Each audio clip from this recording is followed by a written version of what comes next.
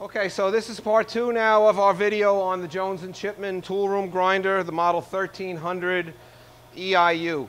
So I've shut off the grinding wheel now, and uh, I do have most of the guarding removed from the machine. Uh, you can see all the pictures uh, on our website of the guards that go here. But at this point, if everything is, is right, you can swing past the tailstock. A lot of times you'd have to take the tailstock off. And we bring our ID grinding wheel in. Grinding wheel and the ID grinding wheel share the same motor.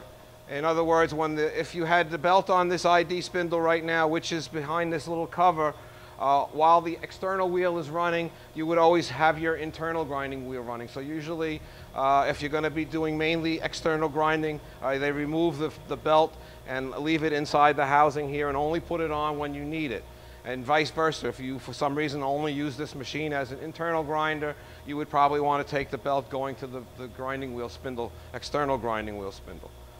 So that's pretty much everything on the machine here. The workhead is here. That's the on and that's the off. You have different speeds. You change the belts inside the housing here.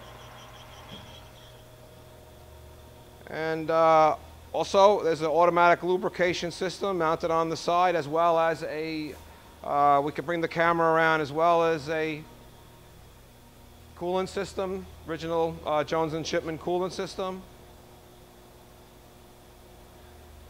So there you have it. That's the Jones and Shipman. Uh, we do have lots of other machines to look at on our website, uh, not just this.